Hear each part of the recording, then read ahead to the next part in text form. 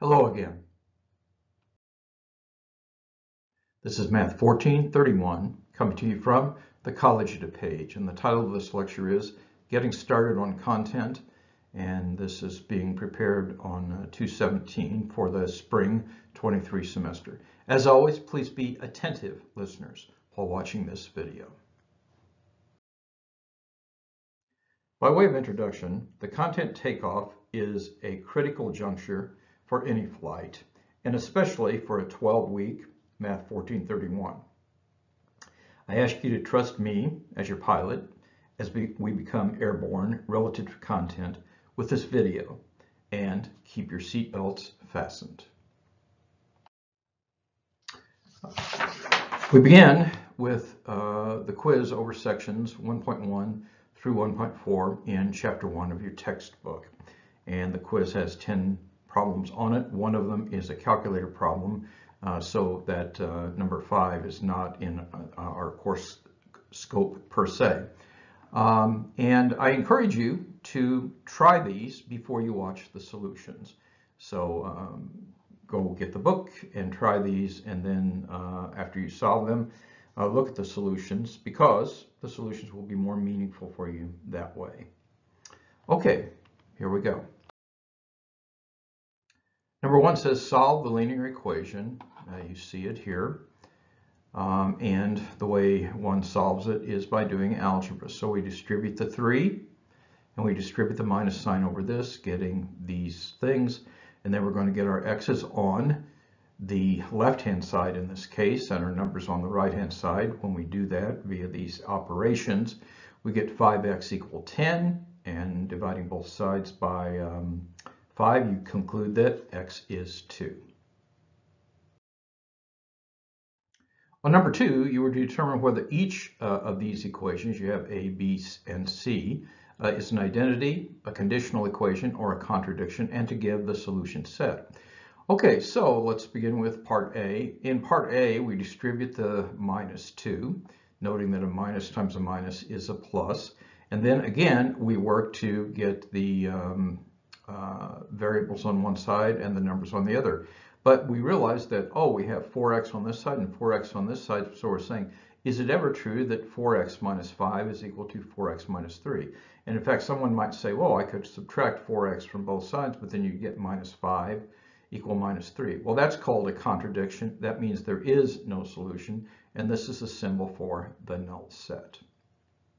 If we move on to problem B, uh, which is shown here, again, uh, we distribute the uh, 5 across here, and we end up with 5x minus 9 is equal to 5x minus 9. Well, that's true no matter what x is, even if x is a complex number. Such a thing is called an identity, and if we're just talking about real numbers, they would say that the solution set is any real number from minus infinity to positive infinity. Finally, we have this one. Uh, we expand the 3 across there, getting 18 minus 3x. We isolate the x and the number, and we put our answer in lowest terms as 11 over 4. Now you see, this equation is going to be true when only when x is 11 over 4 and never uh, any other time. So consequently, you call it a conditional equation. Uh, number three, we're supposed to solve this equation uh, for y. Now there's a bunch of variables here, so we're uh, we're treating everything like it's a number except for y. Uh, so we're going to get y on the side of a, an equation, so we'll move this y to the other side, and we'll move this x to that side. So we have a uh, y minus y is equal to 3x. We will factor the uh, y out, and that gives us a minus 1. And then since a is not equal to 1, we can divide by it. You could not divide by it if it were 0. But we can divide by it here, and we get that y is equal to 3x over a minus 1. Uh, number four is a word problem about uh, earning interest. Uh, so Johnny deposits some money at two and a half annual interest rate and twice as much money at 3%. Find the amount deposited at each rate if his total annual income, uh, interest income is to be $850. Okay, well, annual income means the time is one year. Uh, the formula for simple interest is simple interest is equal to principal times rate times time.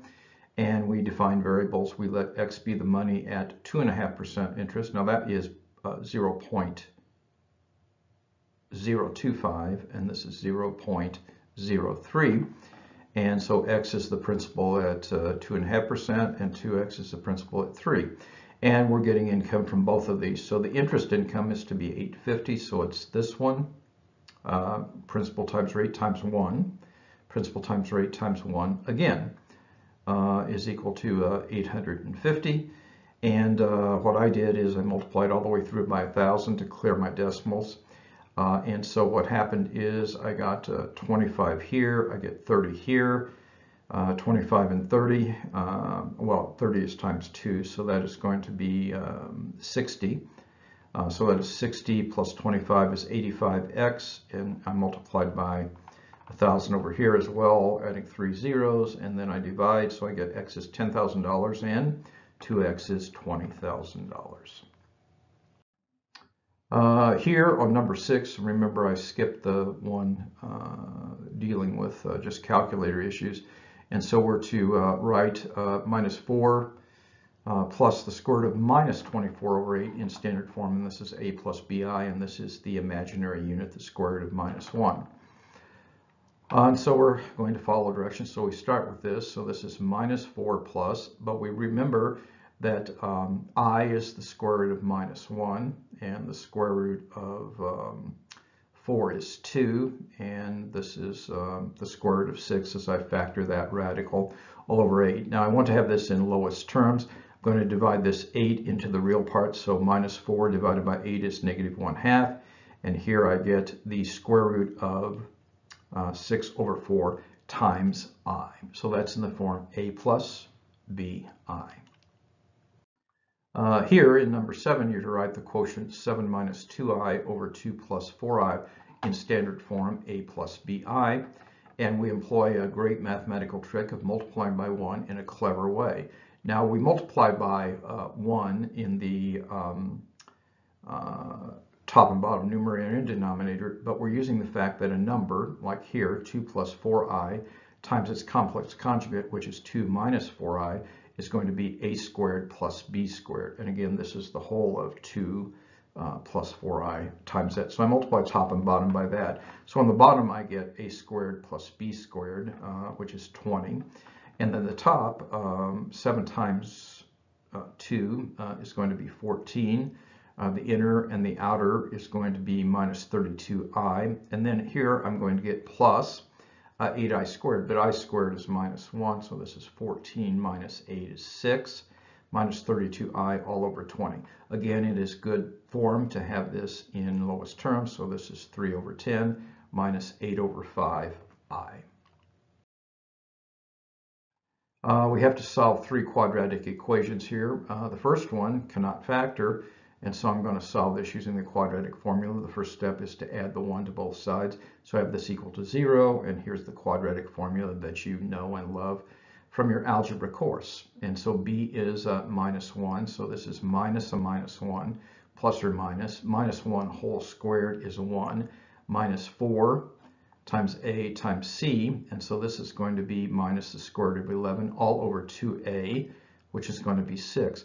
So there are two answers, um, the plus and the minus, uh, and I am dividing by 6 uh, in each one. And notice, my students, that I'm putting the i here for the square root of minus 1. So the answer is uh, 1 over 6 plus or minus the square root of 11 uh, over 6 times i.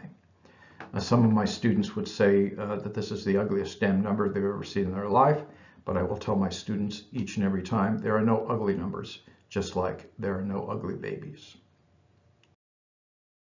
The next one. Uh, from a tradecraft point of view, the best way to solve x squared minus 29 equal to 0 is to use the square root property. So I'm going to throw the 29 on the other side. I'm going to take the square root. It is important for students to realize that the square root of x squared is not x. It's the absolute value of x, and that means you have to have a plus or minus sign here after you take the square root. So the answer to this is x is equal to, there are two answers, plus or minus the square root of 29.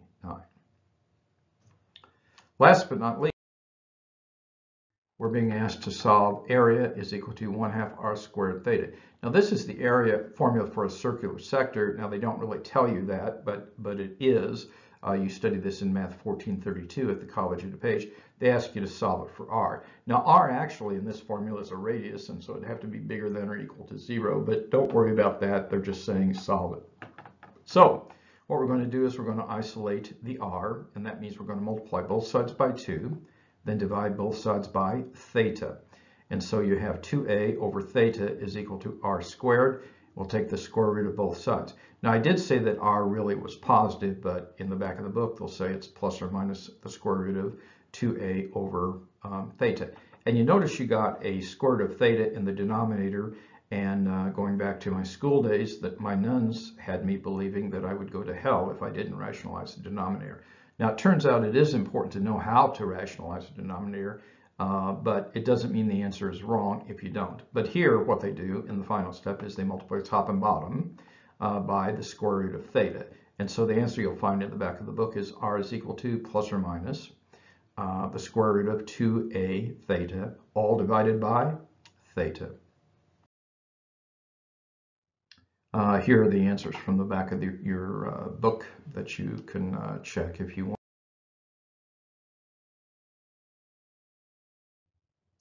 Um, in closing, now more than ever, time is precious. Each day must count.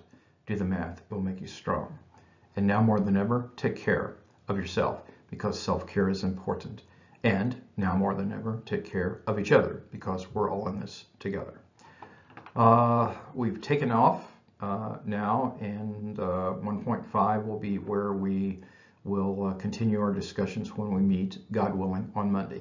Till then, God bless you all and look forward to studying math with you.